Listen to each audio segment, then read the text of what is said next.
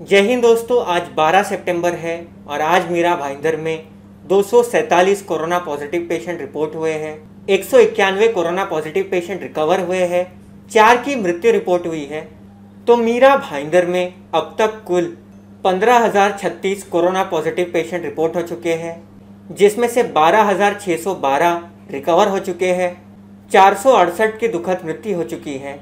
यानी मीरा भाईंदर में अभी 1956 कोरोना एक्टिव पेशेंट्स है।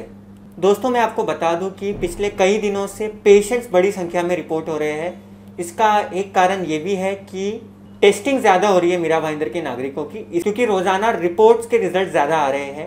आज जो दो कोरोना पॉजिटिव पेशेंट रिपोर्ट हुए हैं, उसमें से 130 मीरा रोड के हैं, इकहत्तर भाईंदर ईस्ट और छियालीस भाईंदर वेस्ट। अभी मैं आप लोगों को स्वैप की जानकारी दे देता हूँ। मीरा भाईंदर के नागरिकों के अब तक कुल छप्पन हज़ार नौ सौ बारह स्वैप टेस्टिंग के लिए भेजे गए हैं।